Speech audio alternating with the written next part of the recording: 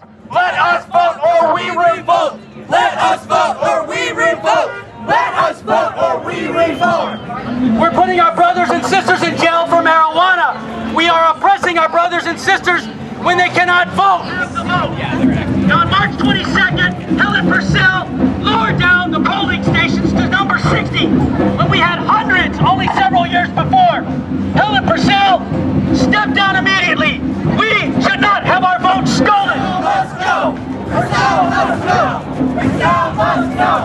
She says she did nothing wrong.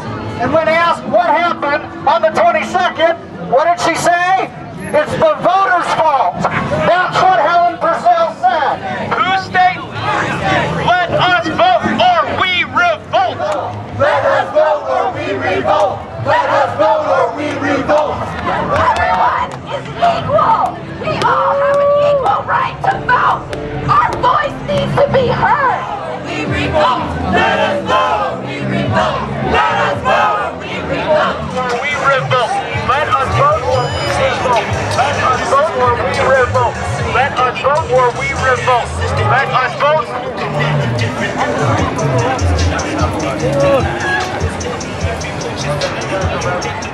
I still don't know if my original ballot counted.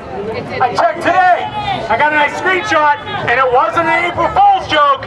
It said, "Oh, I'm sorry, it's not connected. We can't give you a result." Error 404. Food, vote.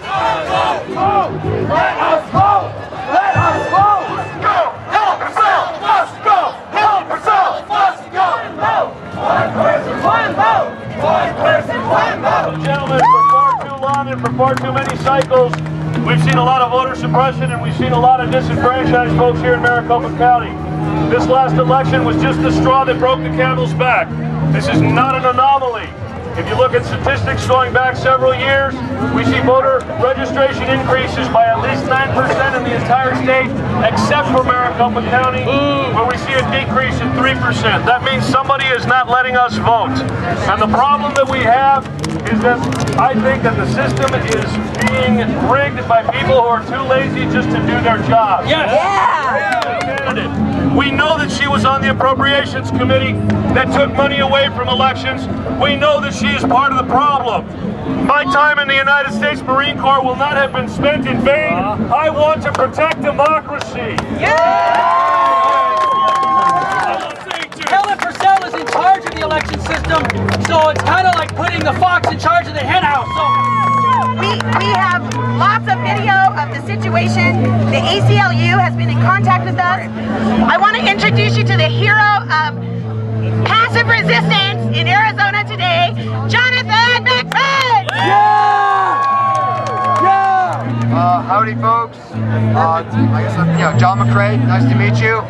I just want to say uh, it was my first time at the Capitol that day, and uh, it was very uh, an, an interesting day. I'll just say that. Uh, all at the same time, I was devastated by the way that I was. Uh, just summarily treated uh, by the officials there uh, that day, you know, law enforcement and so forth. Um, back home, you know, I've had overall a very good relationship with law enforcement, uh, not so much at the Capitol. um, but I want to say at the same time, I was just stunned and uh, shocked and awestruck by the response that uh, One of my friends. here gave me and uh, what they have done for me and all of you. So thank you so much, my friends in Arizona. Yes. You're greatly appreciated. And honestly, this is more than than you know. This right here is just more than us alone. This has to do with all of Arizona and honestly our entire country. Peace and love, everyone. What do we want? What do we want? What do we want? Count our votes! Count our votes! Count our votes! Count our votes! Go, hey, hey! Ho, ho! Helen Purcell has got to go!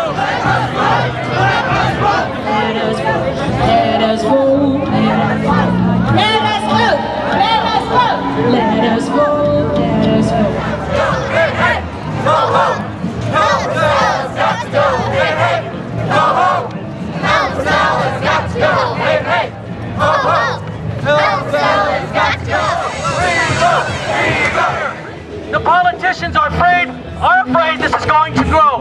We want our extra day to vote again. Democracy failed on March 22nd of the year 2016 last week when people were made to stand in line for six or seven hours. Even if you yourself were one of the lucky ones in a neighborhood that didn't have that problem, there were many, many more people who could not vote. They had to go home to their children. They had to go home to their elderly parents. Elderly people were falling out of line. This is a story that our brothers and sisters in the low-income communities and the minority communities can tell us all about. In America, even if you have a home, even if you have a car, even if you have food in your stomach, if you have no vote, you have nothing. We just want our day to vote. We want to revote on June 7th. This is not about Republican Party. This is not about Democratic Party. This is about democracy. Your children have a right to vote. They have a right to vote. For too long, our brothers and sisters in the low income and the minority communities have been jailed for profit, and they've had their votes stolen. Now we are all together. We must be unified. We must have our vote